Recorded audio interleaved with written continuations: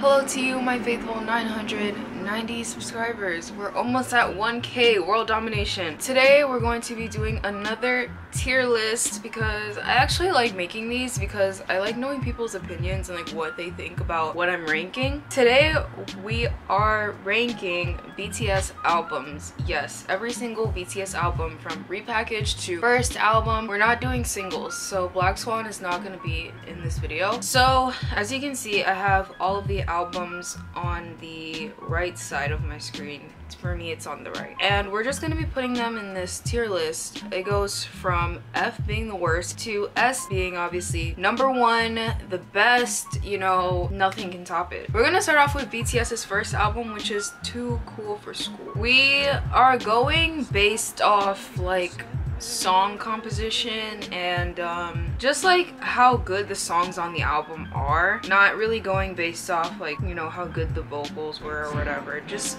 how good the song was i'm gonna look at uh, apple music so i can look through all the songs that are on the album so here we have bts's too cool for school the songs on the album there are seven songs on the album too cool for school the intro we are bulletproof part two circle room talk no more dream interlude like and circle room cipher this is BTS's first album, like first ever album. You know, very cringy, but we're also not going off concepts, you know? Like they were just starting out, so I'm not gonna go too hard on them. I feel like We Are Bulletproof is like a really good song. Like it's timeless, I feel like. Cause I still like the dance and I still like the song. I feel like that would bump it up a rank if I were to put it in a low rank. And then there's No More Dream, which is an okay song. Like, it's not my favorite song ever, but it's okay. Like is a really good song. Probably one of my favorite songs. I like Like Part 2. So, I mean, I guess we're gonna put it in...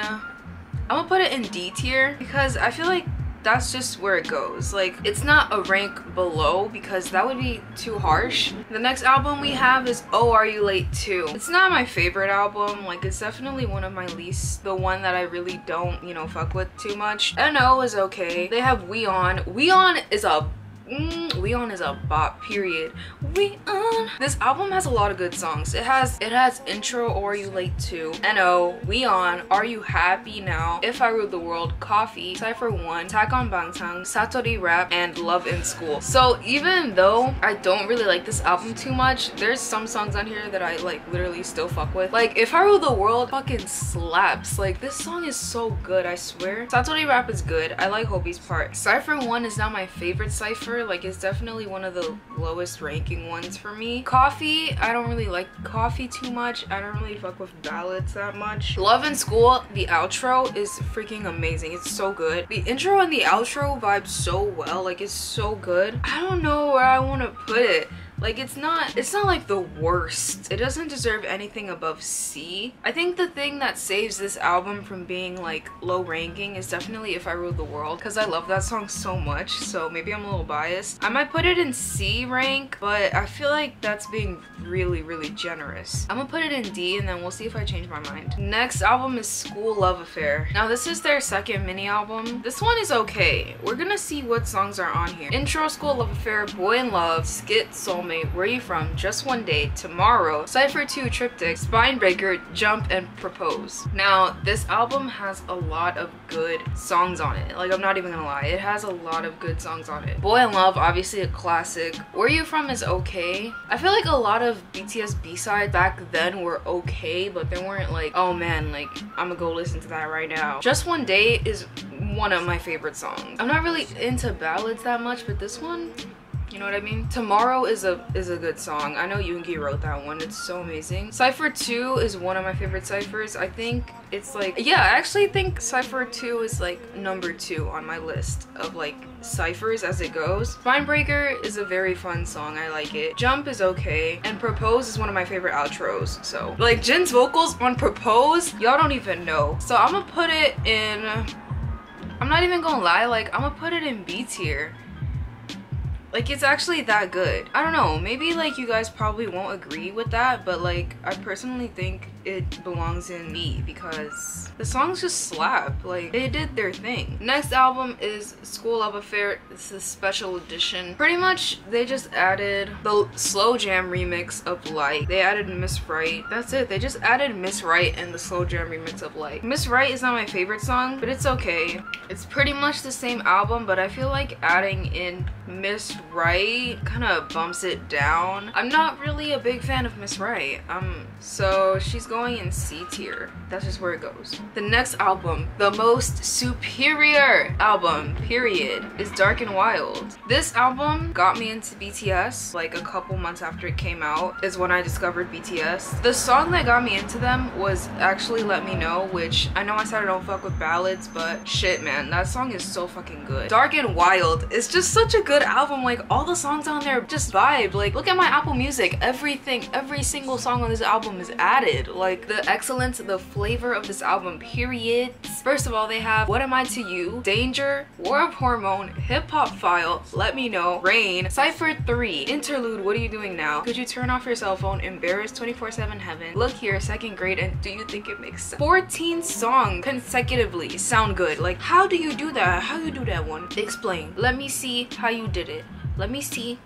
First of all, the outro is like one of my favorite outros in the entire world. I remember, girl, baby, come back to my world. I can't even explain to y'all how much I love it. Like, War of Hormone, there was some controversy surrounding that song, but it still slaps. Like, I still like it. Cypher 3 is my favorite Cypher because I just really love Namjoon's part. People like uh, Yoongi's rap in this one, but I feel like Namjoon doesn't get enough credit in this one. The interlude slaps. Could you turn off your cell phone? Like, some of these B-sides no one really knows about, and that kind of irks me a little bit because I'm just like, these are some of the best B-sides that BTS has, and no one acknowledges them. It's going in S tier because that's just where it goes. Like anyone who thinks Dark and Wild is below S tier is like wilding out. It goes in S tier. The next album we have is The Most Beautiful Moment in Life Part 1. This one has some of my favorite songs ever in the world. So I might be a bit biased towards this one. First, the songs on the album are The Most Beautiful Moment in Life, the intro, I Need You, Hold Me Tight, Skit, Expectation, Dope, Boys with Fun, Converse High, Moving On, and Love Is Not Over outro. Hold Me Tight is one of my, I know I keep saying this about like every single song, but this one is one of my favorite ballads. Like the vocals in that song are so powerful. Like, I don't know. I really like it. I Need You, of course, got them their first ever win. So this is like a big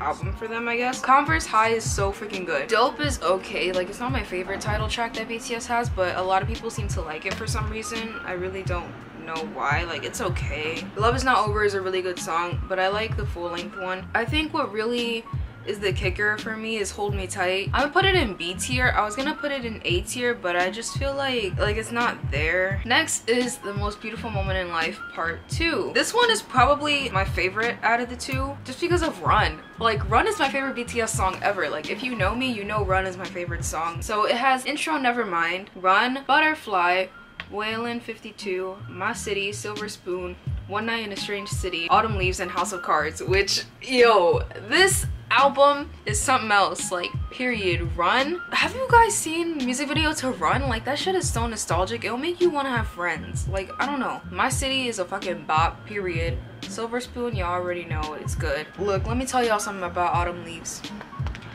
Autumn leaves is like the brother to hold me tight and i really love that. This one definitely is going in a tier because house of cards is just that bitch and I didn't put it up there because of House of Cards. So Run, Silver Spoon, My City, Whalien 52, all them songs just A tier. You know, this album is A tier, period. Next we have Wings, which is, I don't want to say it's their best album.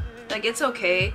I think it's a little bit over glorified. So this album has a lot of songs that I like, like the solos, like this is where they implemented solos and some of my favorite solos are on this. So we have Boy Meets Evil, Blood, Sweat, and Tears, Begin, Lie, Stigma, First Love, Perfection, Mama, Awake, Lost, Cypher 4, Am I Wrong, 21st Century Girl, 2, 3, and Wings interlude. You know, when you put it like that, it kind of sounds kind of hard. Probably some of my favorite solo songs are like Begin and Stigma, just because I like R&B. So like Stigma just has that, mm, that vibe, like, and then Begin just has kind of like, you make me begin like it just I don't know something about that song just make you want to get up and bust a motherfucking move.